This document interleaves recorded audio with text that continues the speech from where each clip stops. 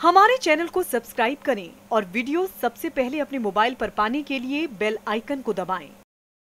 अपने देश में भावनाओं की लहर पर सवार होकर चुनाव जीतना आसान होता है मई उन्नीस सौ इक्यानवे में राजीव गांधी की हत्या के बाद कांग्रेस ने यही किया था और अब शायद बीजेपी भी उसी राह पर चल पड़ी है अटल जी के देहवासन के बाद योगी सरकार ने अटल जी से जुड़ी यादों और भावनाओं को जन जन तक पहुँचाने का प्लान तैयार किया है।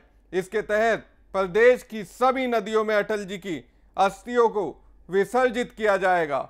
इसके अलावा बटेश्वर, कानपुर, बलरामपुर और लखनऊ में अटल स्मारक बनाए जाएँगे। साथ ही प्रदेश की कई योजनाओं को अटल के नाम पर करने की कवायद भी शुरू हो गई है। अटल जी से जुड़ी यादों को जन जन तक पहुँचाने की कवायद सभी प्रमुख नदियों में किया जाएगा अस्थि विसर्जन। सभी 80 लोकसभा सीटों से अस्थि कलश गुजारने की योजना।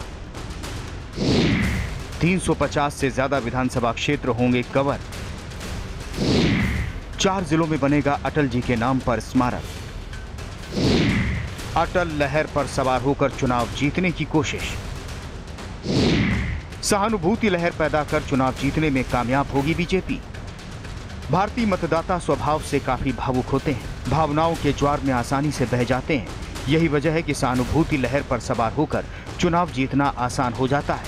अटल जी बीजेपी के पितृ पुरुष थे। आज बीजेपी जिस मुकाम पर खड़ी है, वो अटल आडवाणी की जोड़ी की बदौलत थी। अटल जी का यूपी से खास लगाव था। यही वजह है कि योगी सरकार ने ये फैसला किया है कि अटल जी की अस्थियाँ प्रदेश के सभी जिलों की मुख्य नदियों में प्रवाहित की जाएँगी। ताकि राज्य की जनता को भी उनकी अंतिम यात्रा से जुड़ने का अवसर मिल सके। प्रदेश के 80 लोकसभा सीटों से अस्थि कलश गुजारने की योजना है, ताकि लोगों को अंतिम दर्शन करने का मौका मिले। करीब 350 से ज़्यादा विधानसभा क्षेत्रों से ये काफिला गुजरेगा।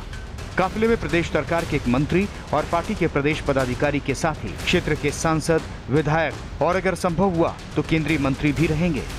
प्रदेश बीजेपी कार्यालय से प्रदेश के 18 स्थानों पर प्रवाहित होने वाली पवित्र नदियों में विसर्जन के लिए कलश यात्रा रवाना की जाएगी। रास्ते में पड़ने वाले ज़िले में वहाँ की जनता अपने श्रद्धा सुमन अर्पित करेगी और नदी के किनारे घाट पर वहाँ के गणमान्य नागरिक और धर्म गुरु अपने श्रद्धा के पुष्प अर्पित करते हुए अस्थि कलश को प्रवाहित करेंगे। चूँकि लखनऊ अटल जी की कर्म भूमि रही है, इसलिए 23 अगस्त को शाम सर्वधर्म, सर्वदलीय श्रद्धांजलि, प्रार्थना सभा भी नदवा कॉलेज के पास, गोमती नदी के किनारे आयोजित की जा रही है, जिसमें सभी धर्मों के गुरु, सभी राजनीतिक दलों के अध्यक्षों को आमंत्रित किया जा रहा है। इसमें केंद्रीय गृह मंत्री राजनाथ सिंह, सीएम योगी आदित्यनाथ और लखनऊ के जाने माने लोग अटल जी को श्रद्धांजलि अर्पित करेंगे। इसके बाद 25 अगस्त को प्रदेश के सभी जिलों में और 27-28 अगस्त को सभी मंडल इकाइयों में श्रद्धांजलि सभाएँ आयोजित की जाएँगी। इसके अलावा अटल जी के नाम पर योगी सरकार यूपी के शहरों में चार बड़े स्मारक बनाने की तैयारी में है। आगरा के बटेश्वर, जहाँ अटल जी का जन्म हुआ, कानपुर, जहाँ उन्होंने शिक्षा ली, लखनऊ, जो बाद में उनकी कर्म भूमि बना, और बलरामपुर, जहाँ से पहली बार वो संसद पहुँचे। अटल जी के नाम पर यहाँ स्मारक का निर्माण कराया जाएगा। देखिए श्रद्धा अटल जी ने पूरे देश में काम किया है। और उत्तर प्रदेश उनका एक बड़ा कर्म क्षेत्र रहा है। उत्तर प्रदेश में बहुत से ऐसे लोग हैं अलग अलग दलों से आते हैं अलग अलग विचारधाराओं से भी आते हैं। हमारी पार्टी के लोग भी हैं जिन्होंने श्रद्धे अटल जी के साथ काम किया है। और इसीलिए अटल जी की जो अस्थि कलश है वो उत्तर प्रदेश भी आ रहा है। उत्तर प्रदेश में बहुत जगहों पे कार्यकर्ता हैं, बहुत जगह पे अटल जी से जुड़े हुए लोग हैं, जो उनको श्रद्धांजलि देना चाहते हैं, उनको नमन करना चाहते हैं। और इसीलिए जो अस्थि कलश विसर्जन का कार्यक्रम है, उत्तर प्रदेश की सभी नदियों में रखा गया है। साथ ही श्रद्धांजलि सभा का भी एक आयोजन है, जो सर्वदलीय है। सिर्फ़ भारतीय जनता पार्टी की तरफ़ से नहीं है, बल्कि सभी दलों के लोगों के लिए है। तो एक तरह से अटल जी जैसे राष्ट्र नायक के लिए, उनके जैसे महापुरुष के लिए उत्तर प्रदेश की तरफ़ से एक श्रद्धांजलि है। इसके अलावा योगी सरकार अटल जी की याद में लखनऊ में नए चिकित्सा विश्वविद्यालय बनाने की तैयारी में है।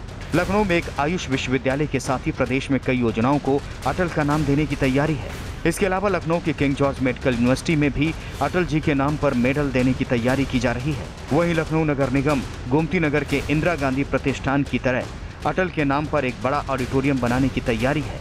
अब देखना है भावनाओं के अटल लहर पर। सवार होने से बीजेपी को आगामी चुनाव में इसका कितना राजनीतिक फ़ायदा मिलता है। Bureau report, Samachar plus.